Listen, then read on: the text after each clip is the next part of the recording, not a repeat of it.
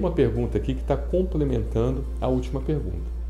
Quem teve reação à vacina da AstraZeneca pode ter alergia à vacina da Pfizer, ou seja, aquelas vacinas contra o SARS-CoV-2 e contra o Covid-19?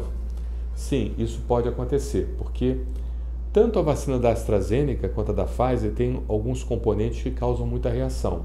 Por exemplo, a vacina da AstraZeneca tem o polisorbato e a vacina da, da, da Pfizer tem o polietileno glicol, que é o PEG. E esses componentes são os maiores causadores de processos alérgicos relacionados à vacina, ou seja, é raríssimo um paciente desenvolver alergia à vacina do Covid, muito raro. Mas quando acontece, o maior causador, o grande vilão para que isso venha acontecer é justamente o polissorbato da vacina da AstraZeneca e o polietileno glicol da Pfizer.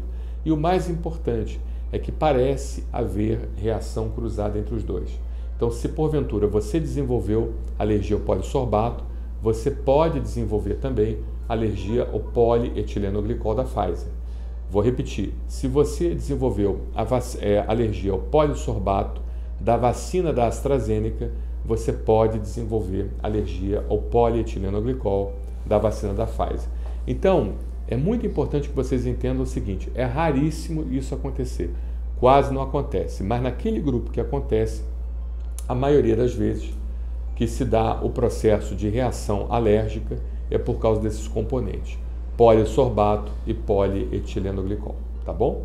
Então, o que, que acontece? A pergunta é o seguinte: quem teve reação à vacina da AstraZeneca pode ter alergia à da Pfizer?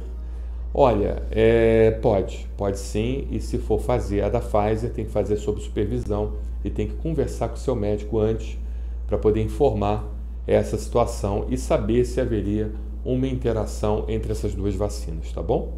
Muito obrigado pela sua pergunta.